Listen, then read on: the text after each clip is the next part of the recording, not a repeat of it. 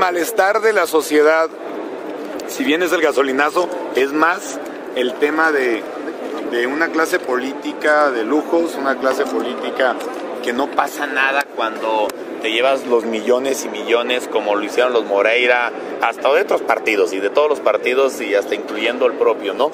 Este, y ya está harta la sociedad de esto. O sea, yo le insisto al, al, propio gabinete y que ahí lo hagan bajar a los secretarios, digo, a los directores, o sea, que, seamos austeros. O sea, puedes dar un gran, un gran servicio con austeridad. Vamos a, bueno, las medidas se las debo, ¿verdad? Eh, vamos a hacer algunas medidas, pero el tema central es tampoco taparnos para que luego del sexenio vengan los juicios. Mejor vamos a prever y desde ahorita, o sea, duro con ellos.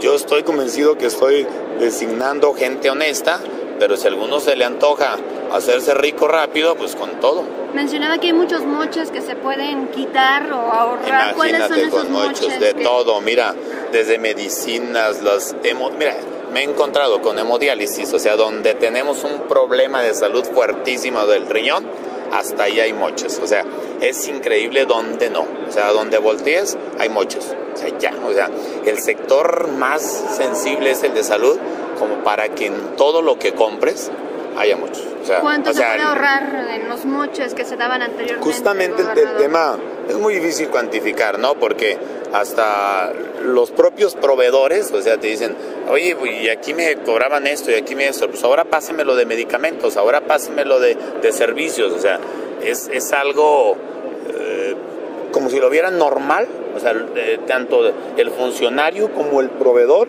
como si vieran normal el tema de un porcentaje para desviarlo, o sea, y esto lo vamos acotando poco a poco, no creas que es tan fácil, o sea, llegar y con tanto servicio que tiene el gobierno, tanta compra, tanto este, licitación de tajo, ¿no? Poco a poco vamos a ir cerrando el camino.